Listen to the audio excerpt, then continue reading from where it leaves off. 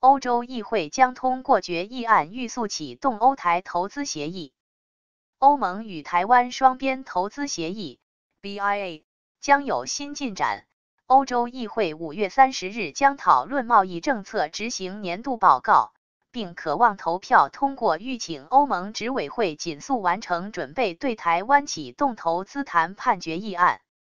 欧洲议会明天将在总部法国史特拉斯堡举行全体会议，讨论贸易政策执行年度等报告。欧洲议会并将提出一项决议案，呼吁欧盟执委会和成员国检视正在进行的贸易谈判，以反映可能的潜在变化，并确保谈判有效率进行。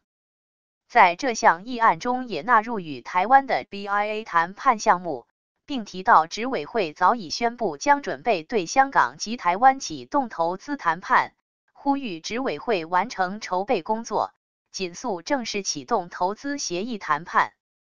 这项议案预计在五月三十日当的实践中午过后投票。驻欧盟兼驻比利时代表处将密切关注结果，期盼欧洲议会能通过这项决议案，让欧盟执委会据此尽早开启 BIA 谈判。